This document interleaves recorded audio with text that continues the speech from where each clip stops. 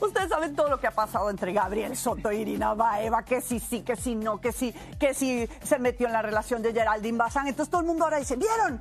El que a hierro mata, a hierro muere y están. Ella es Sara Corrales, justamente la Ah. coprotagonista de Gabriel en su nueva telenovela. Entonces las especulaciones son de, "Ah, ¿estarán juntos? Que se la pasan mucho rato juntos, que platican mucho.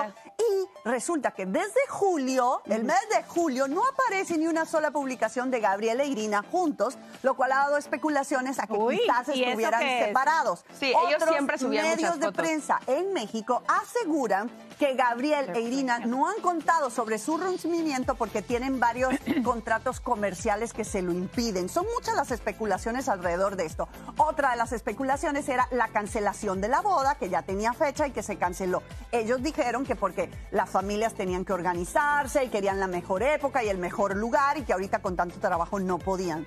Entonces hay muchas cosas al respecto, pero ¿qué dice Sara, Sara. al respecto. Ella, ella nos comenta si cuál es su relación verdadera con Gabriel Soto.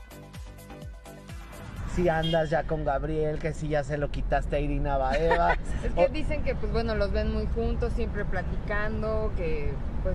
Pues es como no, como no, es, de- es mi pareja en la novela. Grabamos 26, 27, 30 escenas diarias. Entonces